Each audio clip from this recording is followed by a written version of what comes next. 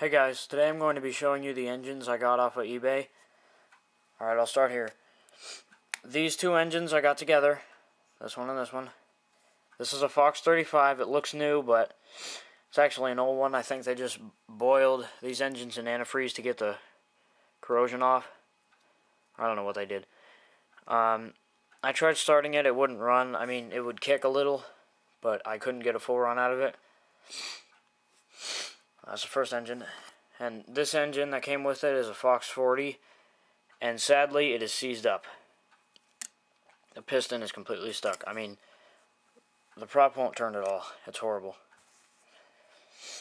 I'm going to try to soak it in pure Coca-Cola. See what happens. I mentioned that on another video. Okay, then I got these two engines together. This is a Fox 40 RC engine. Has a throttle control, but the throttle control isn't working at the moment. I don't know why it isn't. The needle valve is gone.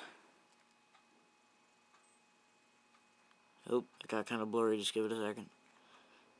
And if you can see that, I have nowhere to put a needle valve because, I don't know, something happened. This engine is not seized up, thankfully.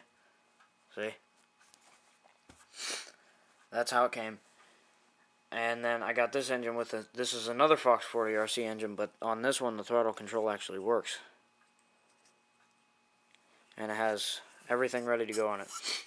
Compression is very, very good on this. Pretty tight. It's a sign that it's not worn out. Kind of corrody looking, rusty looking. But, I mean, they're still engines. They're still good. This is a, uh, this came in it. It, came in the box. It's a 12.8, which I think is a huge prop for this engine.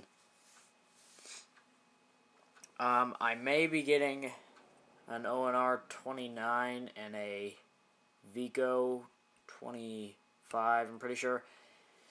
And they're both seized up, but that would be kind of a, um, I would just get those for sentimental purposes, and also an Ohlsson and Rice 60. Okay, well, those were the engines that I got off of eBay. Thanks for watching.